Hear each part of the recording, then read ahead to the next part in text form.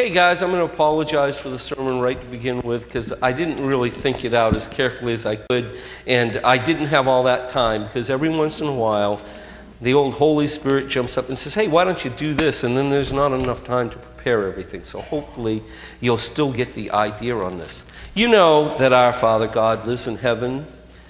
Do you have, have your teachers taught you yet that He has the biggest, most gorgeous house? In all of heaven.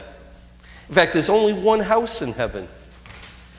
And God made a room in it for each and every one of us. Those of you that are sharing a room with your brother or sister, when you get to heaven, you get your own room. Oh, it's really good there. So it's, it's like this great, great, great house. But I was thinking, you know, God lives on earth here with us too. God's present everywhere. And I was thinking, boy, I wonder what kind of a house God should have on heaven. Do you think he should have a little rundown shack somewhere on the other side of the tracks? You think God should have a, a little shanty? I don't think. Do you think he should have a big, big, big, nice house?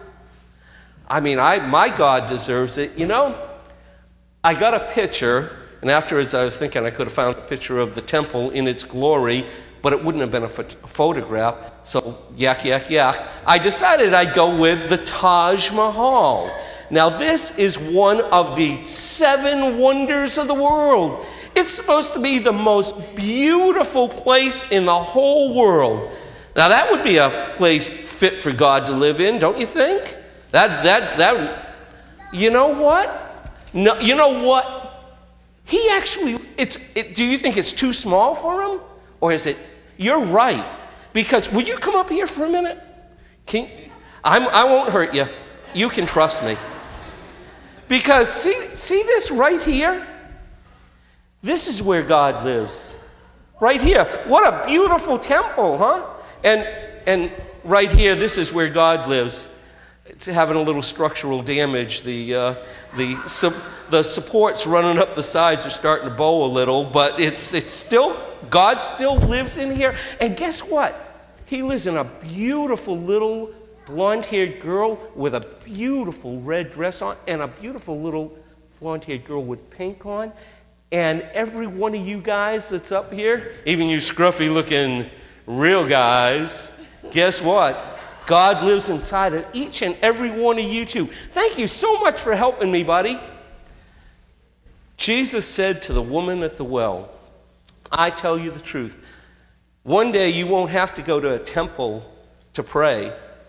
You'll be able to worship God in spirit and in truth wherever you are. And that's because God, when you accept Jesus, God actually comes and lives in you as the Holy Spirit. And you want, I think if you have God living in you, that it's up to you to try your house as clean as possible.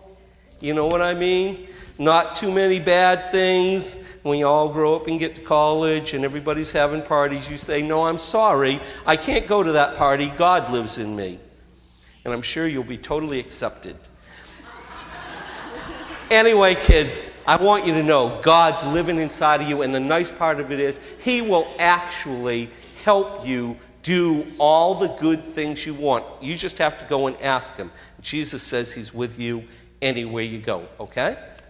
Would you please pray with me? My goodness, 1, 2, 3, 4, 5, 6, 7, 8, 9, 10, 11, 12, 13. Thank you, Lord.